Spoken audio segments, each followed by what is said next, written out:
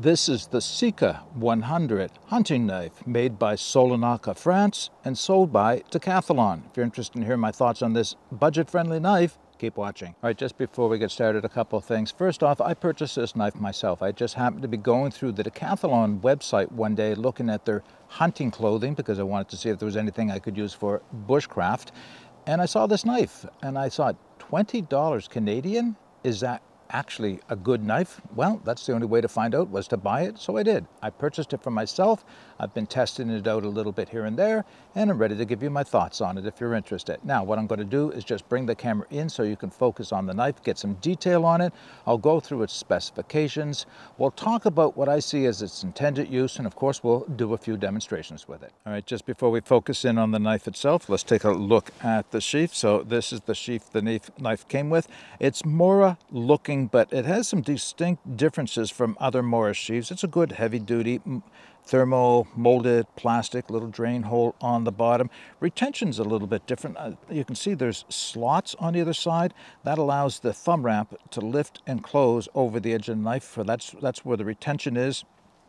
Belt loop very simple, holds onto your belt. You can take it on and off. Um, this portion right here, a little bit curved to hold close to the knife, but more importantly, what does it look like in the sheath? And let's talk about retention. So going in, it is very positive. You can hear that snap going in. It's holding that in. There's no amount of shaking that is going to make that come out. Getting it out is a little bit of an issue for me, and I'll explain. Uh, it may work better if I demonstrated this on my belt where the belt clip itself will form some kind of a resistance to me pulling the knife, but I can't get my hands around the knife in order to use the thumb ramp. So it's a little awkward to take it off. But now once you do, I mean, it's, it's, it comes out once it's, you know, very easily once you actually push on off on it. But it's because of the way it is formed so close to the handle I just can't get my hand around the edge of the knife.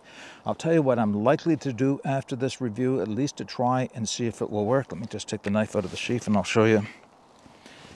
Hair dryer or heat gun I'm thinking about bending the top portion out and then up again. So it creates a little bit of a a zigzag up. So it comes away from the sheath a little bit and just pushes it maybe a little bit away from the belt but more importantly pushes this portion away from the handle just to make it a little easier for, to get my hand on to retrieve it. The nice thing is it's super secure super solid in there. All right let's put the sheath away. I'll bring the knife in. We'll do a few specifications for it. So overall length 8.8 .8 inches 220 millimeters. That's from tip to pommel of course. Blade length 3.9 inches 10 centimeters. Blade thickness 0.1 inch or 2.5 millimeters. Weight with the sheath is 6.17 ounces or 175 grams. And yes I left the steel to the end. So this is the third knife that I have reviewed recently using this steel. This is the Chinese 5CR 15 MOV stainless steel, hardened to be around 56 HRC. I say the third knife, you know, I didn't think I would ever want to review a knife in that steel, but like I said, I've reviewed a couple of others prior to this knife in that steel, and do you know, it's not as bad as you might think it is. I know that most people will roll their eyes, myself included. That's a very budget basement bottom you know, price steel made in China. By the way, just to be clear on this, this may be made by Solognac or the company, but they still had it offshore production made in China. So just to be clear on that. But, you know, it's all about the quality of the construction. So Here's what I'm going to say about the steel now. We'll test it out and we'll have a few more words. It works. It's working for me. It's holding up to the task. It's not staying sharp forever. It's not a super steel, uh, well, anything but a super steel, but it is up to the task. And here's the thing about owning a budget knife. By the way, did I say $20 Canadian? I thought that was pretty good price. Uh, about the about owning a knife with an inexpensive steel like this or an inexpensive knife you get to learn how to sharpen properly and you will. You'll have to you have to sharpen every knife you own but it's nice to do so on an inexpensive knife especially one with a steel that's very forgiving and you can make a few mistakes and still get the knife sharp with a little bit more practice so just a different way of looking at steel but That's only good if it'll actually perform. If I get out here and it starts rolling or chipping and doesn't stay sharpened long enough for at least a day or two's work, but without having to do something to it, then it's not worth it. But it has for me, and it will today when I demonstrate it to you. All right, a little bit about the design of the knife and some of its key features. So it is a, it's not a full tang, but Solognac advertises as being a three-quarter tang, so about here. You know, that's no different than a Mora. In other words, the tang may be hidden, but it's most of the way back. It should withstand quite a bit of hard use. Now, I don't know if today I'll do any batoning with it because once again, this is a small knife I think is best served for carving, but I think you could with enough confidence, at least small pieces of wood, that you could baton them through if you wanted to. The plastic is hard you can probably hear that molded, uh, or the plastic, the handle. The handle is a hard plastic. Now, just a few comments on the handle. It's kind of blocky looking. It does have edges right here. It's not completely rounded over. There's not a lot of grip to it. There's not a lot of width through here or through here.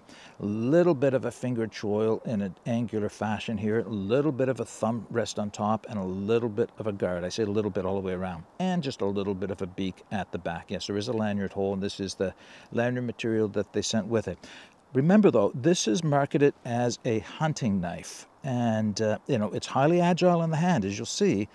I don't see this as a hunting knife. Uh, you know, it'll do some of the tasks of hunting. I don't see it as a skinner.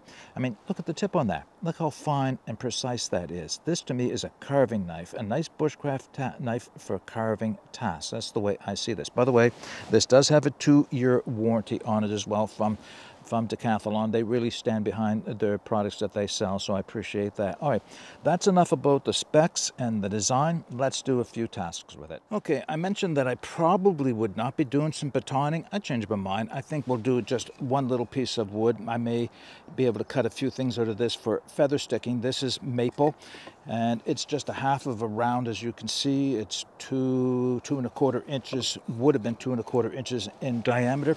And the reason I changed my mind is that if I would do this type of batoning, that smaller piece with a Mora, I should be able to do it with this knife. So let's just do that. Now, the only thing I'm going to say, there is a knot down here at the, actually, let's start at the knot at the top. Might as well take advantage of the height, and we'll put, put her through. Through the knot, and through the rest of the stick. And absolute, I didn't expect any damage with that and there isn't. There's nothing showing on it. Um, you know what I'll do? I'll baton down the rest of these pieces in a moment, or these two pieces, to choose one for feather sticking. But I wanted to make a tent peg today, but I thought I'd do it up a little bit different. Normally I'd take one of the splits that I baton and make a feather stick from that. But today I have, I just happened to cut down uh, some relatively green maple, a small branch of maple for another project. And I thought, you know, this is what I'd probably be making feather sticks out of, or not feather sticks, tent pegs out of anyway. So why not do it this way, a little bit different. Now, in fact, if I hadn't have cut that branch off, I would have had my, or my notch for holding my guy line already. But this is all about doing it. Actually, we'll do it the way we do it by hand, which is to roll it in. Uh, I would normally baton this into the stick to show you some cross batoning. But Nothing to say we can't do it the old school way, which is to carve it in by hand.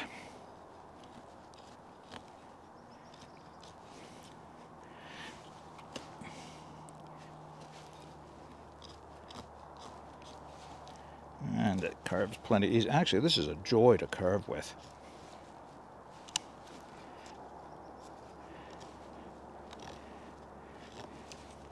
Nice, easy to create the L7 notch. Now I just have to turn it around and put a point on the other end. Let's put a point on our tent peg and the purpose of this test is one to obviously show that it can be done but also just to test it in reverse grip to see what kind of comfort I have. The guard is a little bit funny. So you can see it's kind of got a two angles there. I wonder what it's going to feel like. Well, the only way to demonstrate that is, is to do it. So let's try this. Maple, green or dry, is still hardwood.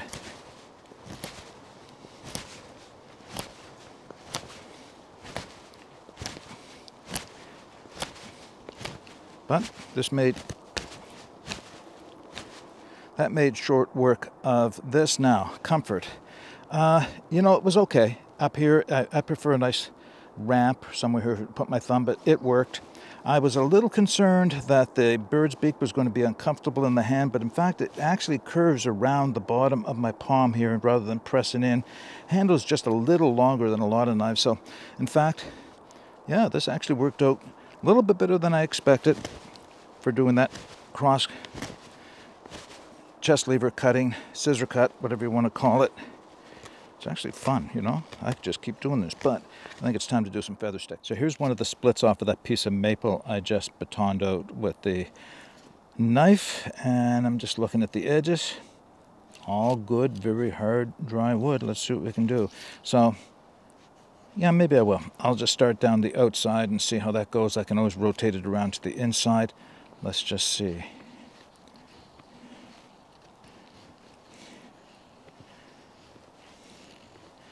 Think some of the outside is a little dry. When by dry, dry I mean old. Yeah, let's just rotate it, to, rotate it to the inside and see what happens. That was much easier.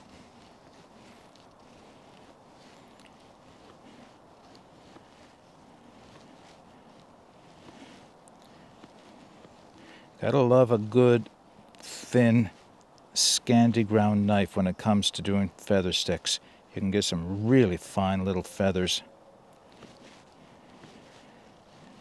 Gotta pull it back a little bit to get some longer curls. A lot of my curls are falling off because I'm running over a knot. See if I can get some really small bugles. A little finer than that even. Yep, alright, those will take a spark. Those last ones that I'm making there. They will accept a spark. All right, not a complete feather stick, but enough to show that the knife is capable of feathering. Uh, just a few comments here. It's small. It is very small in my hand. While it's long enough, I have to really feel like I'm holding onto the knife in order to maintain control. If I, I have to consciously allow my grip to loosen up a little bit each time I run the knife down and just hold it a little looser in my hand. And I really don't like that. But it'll still feather. All right, but will it scrape? All right, let's do a little bit of scraping. First off, one of those splits of maple I had. A little birch bark to catch it on. Let's see what we can fuzz up here.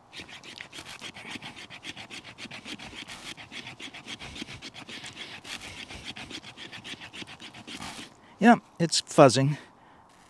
Not the best, but it's working. How about fat wood? Always important that we can scrape a little bit of fat wood.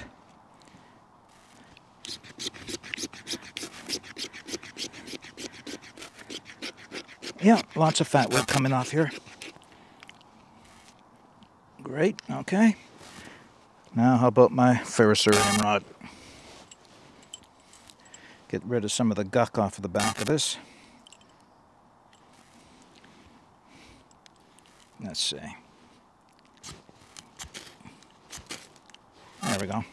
Yep, so it does the job. I'm noticing it's not as good a scraper as some knives, but scrapes and scrapes well enough just the same. All right, let's wrap this video up. All right, a few closing comments for the Sika 100 hunting knife made by Solonaka, France and sold through Decathlon. Um, I don't see how they market this as a hunting knife. It's a bushcraft knife, at least to me. Having said that, though, it has some pros and it has a few cons as well. To start with, what I really like about it is that super fine tip. I would not hesitate to carve a spoon with that or anything else trap notches, like I just showed, L7 notches, representative of a lot of different notches. Yeah, it, it's a nice blade for carving with. It is strong enough for doing batoning, but you know what, I'd reserve this for only small pieces of wood, and then only if you didn't have something else to baton with. Um, I, that's about what I can say for the blade design. Now the handle, not as comfortable as I would like. Not bad, just not great. The I thought the blockiness would be a little bit uncomfortable here. It's not, actually. I don't really feel that edginess or the edges on this like I thought I would. Uh, but what I do find is that it's small. It's thin here and thin in that direction. So if you've got average, small to medium sized hands and maybe even edging towards large hands, this will work for you because it's certainly got the length to hold on to. It just doesn't have the girth for someone with large to extra large size hands. That's, that's what I think I can say about this. I don't think you can beat $20 though. This is, this is a great, great price and you can't beat Decathlon for dealing with in terms of, of uh, you know, having things shipped to you or shipped to the nearby store or the, the return policies on them. They're really, really good people to deal with. I've been impressed and I buy, that's my first place I look for things now of any style because usually, I mean, Decathlon is international. It is huge. They have great buying power. They can offer things at a better price uh, that are really good quality. So that's the reason why I've kind of shifted a lot of my outdoor clothing and, and equipment purchases to there. All right, as they say, the elephant in the room, the 5CR15 MOV stainless steel made in China. Well, it's living up to its task or its expectations, at least so far. It, even now, I mean, I didn't do a whole lot of demonstration there, but I've had steels that wouldn't even withstand what I just did with those. This is just as sharp as it was when I started, and it is a full true Scandi, a zero grind. There's no secondary bevel on this, so if it was going to roll or anything there, that's where it would do it, is right at that very fine edge. But nope, this is standing up well. But then again, I'm not expecting any more than that from it. Even that is, is somewhat of a, a, bonus to have it last even this long. I want it to last at least a day, and then if I'm out for multiple days, I'll have my stones with me, a combination diamond, ceramic stone, or some wet stones, usually diamond ceramic as they're smaller and lighter and don't have to be wet to use. And then I'll bring the edge back at home. I'll take this home. This All this is going to need today, honestly, is to be run down a ceramic rod and then put on a strop. Now, yes, some is saying that'll ruin the Scandi edge. I don't know about ruin, but it will change it. There's no question. If I keep running this down a ceramic rod and stropping it, I'm going to create a micro bevel for a secondary. I don't see that as a bad thing. I think that'll just have it last a little longer. It may not be quite as fine a carving knife with that, but it'll be a more durable edge. So I've said it a couple times now on different knives. 5CR 15 MOV, cheap, inexpensive, however you want to look at it, Chinese made stainless steel. It's still got its qualities going for it. One being very inexpensive, two being something that's easy to sharpen when it does get dull. And it will, and like all steels it will. Just maybe just a little sooner than other steels. So we'll put that out there. Now the last thing I want to say is I was a little surprised because uh, it feels like it should scrape better than it does. There, there is a bit of a burr in the edge. I mean, it does. It scrapes well, but I've got knives that scrape much better. But there's, a, there's actually enough of a burr for me to catch my fingernail on but not so much back here. Maybe that's what it was. Um, again, that's not a deal breaker because I find just about every knife, the spine has to be touched up once in a while. If you use the spine a lot, you have to touch it up with a file or a stone or something to get that burr back that you can use for scraping. So considering the price of the knife, not in the least disappointed. In fact, that's exactly what it is. It's worn smooth a little bit here because it's still sharp on the other side, the side I don't use. Okay. That's my thoughts on the Sika 100 hunting knife from Solognac and distributed by Decathlon. I will put the links to where you can purchase this on Decathlon Canada. I'm sure it's available elsewhere as well. And if you have any comments or questions, then put those in the comments section. But until next time, get out and explore and take that path less traveled because it will make all the difference. Bye for now.